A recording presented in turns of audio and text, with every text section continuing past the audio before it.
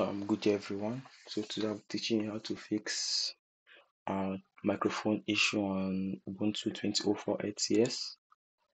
So this actually like I was really stressed trying to fix this issue and it took like it took almost a week plus for me to, to land on the post to actually fix the issue. So let me show you my Ubuntu version. I'm on 20.04.4 LTS.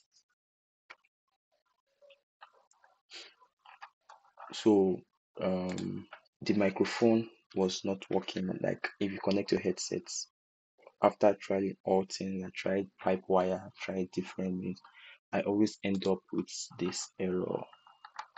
Something okay where's it? I always end up with fail to enable units for um, pipeline blah blah blah. So this error i always encounter it I tried different, different, all, all things possible. It didn't work until I stumbled, um, stumbled on this post on Ask Ubuntu. So I'll paste the link. I'll, the link of this post to be in the description.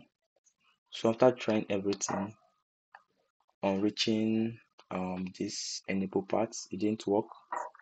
But the this code here fixed that issue then continue the whole process. So after getting after doing the whole process and it's dead working so this is this is the error you get when you try to um, restart it. You get connection failure uh, but using uh, using the next code it fixed it. As this one to fix it. So now after the pc now start picking the sound like it now recognizes the I'm using Samsung um, Galaxy Buds Pro.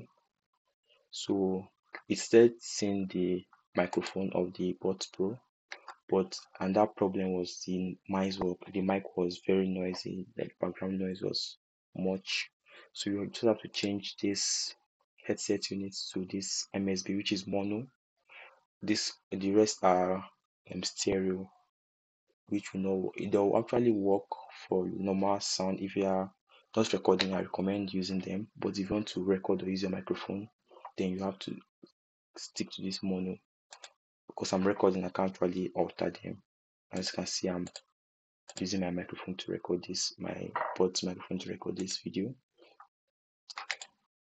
So after doing everything it worked. So i said to share video because i know i'm not the only one that suffered trying to fix this because of a Skype meeting and I hate Windows, so I have to find a way.